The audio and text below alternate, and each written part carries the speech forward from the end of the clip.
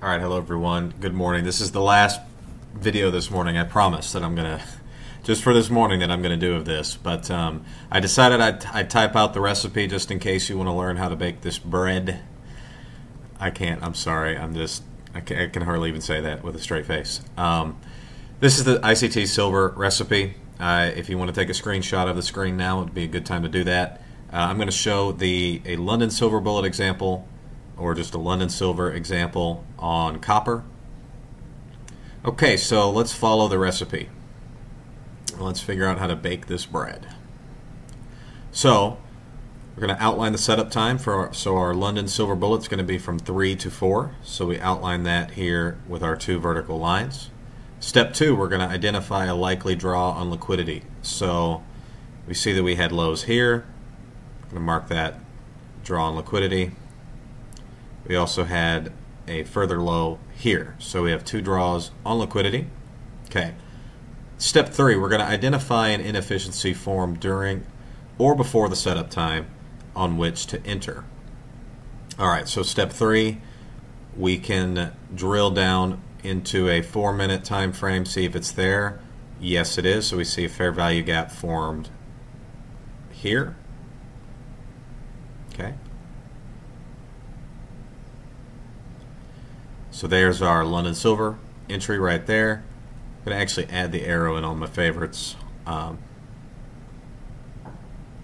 so our entry was enter short anywhere in here. Okay. Step four, we're going to optional optional to pyramid on the way to the target. So where would your pyramids have been on this, if any? This is an optional step. You could have added on short here or here. I wouldn't have gone with the second one actually. So the first one would be just into this big fair value gap that we had here.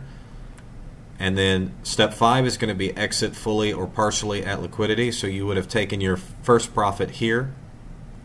Um, and if you were still holding on to part of the position, you should have been fully out on the second draw on liquidity, which is the second red box. Okay, so you exit uh, partially at the first red box or fully at the first red box. The second exit would have been down at the second draw of liquidity. And that is your ICT silver recipe. Just to get through the steps one more time, we're going to outline our setup time. I use 4. That it, for the Asian silver bullet, it's going to be between 3 a.m. New York local time and 4 a.m. New York local time.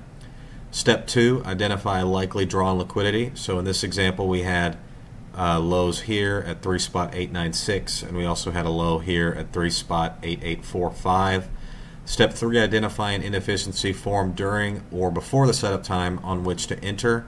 So we can see that price formed a large fair value gap here during the setup time. So we enter short just at the high here. You could have actually entered even a less optimal entry would have been fine in this case, but your ideal entry here would have been at the very top of this fair value gap. Step four is an optional step to add on to the position on the way to the target. So if you have um, if you have a liquidity target that is far enough away, you might be able to enter in on a retracement uh, more contracts. So you could have added on here at this arrow if you wanted to. It's an optional step. Step five, you are exiting at least part of your position at the first liquidity pool, and then fully you should have exited at the second liquidity pool which is down at the red box that I've outlined.